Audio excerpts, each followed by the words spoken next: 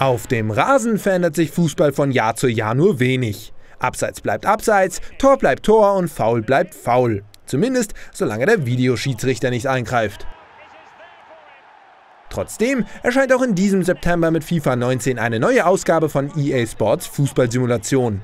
Und wieder mal will EA alle fußballbegeisterten Fans davon überzeugen, 70 Euro für ein Spiel auszugeben, das es beinahe genauso schon letztes Jahr in Form von FIFA 18 gab. Was also haben sich die Entwickler dieses Jahr Neues ausgedacht? Das verraten wir euch in diesem Video zu den fünf wichtigsten Neuerungen von FIFA 19.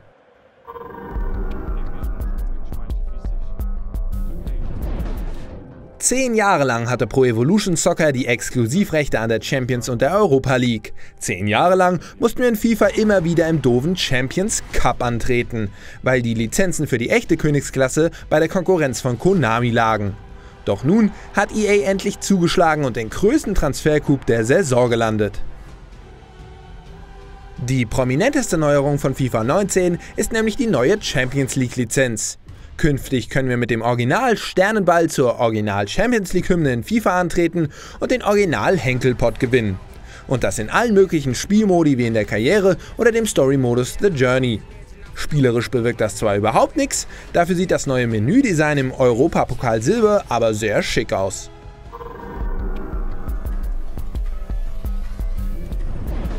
Die wohl witzigsten Neuerungen von FIFA 19 finden sich derweil im neuen Anstoßmodus.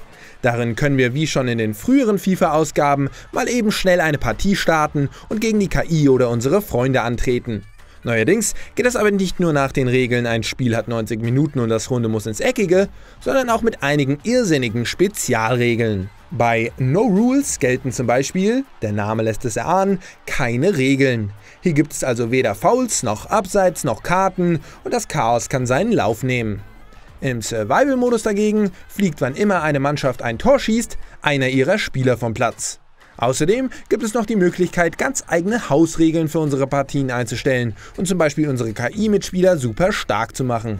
Dauerhaft werden diese Spaßmodi aus dem neuen Anstoß zwar sicher nicht ganz so lange unterhalten wie die anderen FIFA-Modi, gerade für ein paar lustige Runden auf der Couch gegen unsere Kumpels dürften sie sich aber bestens eignen.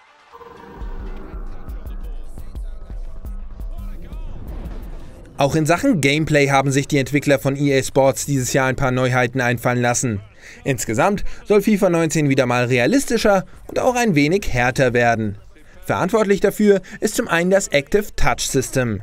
Das sorgt dafür, dass es noch mehr Spieleranimationen für Ballannahme und Ballbehandlungen gibt und gleichzeitig unsere Mannen auf dem Feld mehr darauf achten, was um sie herum gerade geschieht.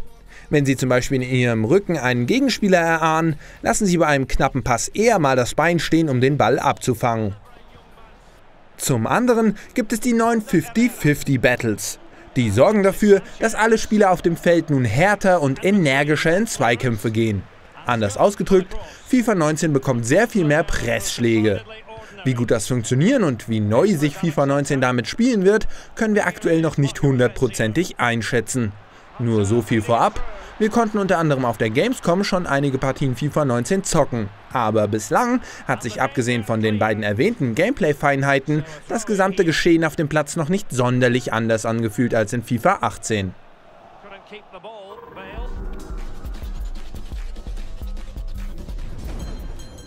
Was braucht eine Fußballsimulation, in der sich die Spieler Jahr für Jahr nach mehr Realismus sehen?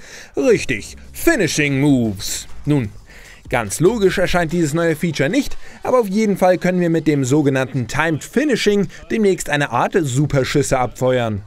Dazu müssen wir einfach bei unseren Abschlüssen im richtigen Moment ein zweites Mal die Schusstaste drücken. Sind wir allerdings zu früh oder zu spät dran, geht der Ball beinahe garantiert am Tor vorbei. Theoretisch kann das sicherlich ganz witzig werden, aber selbst wenn dem nicht so sein sollte, dann keine Sorge. Falls die Timed Finisher im fertigen Spiel wirklich so unsinnig werden, wie sie sich anhören, können wir sie notfalls jederzeit komplett deaktivieren.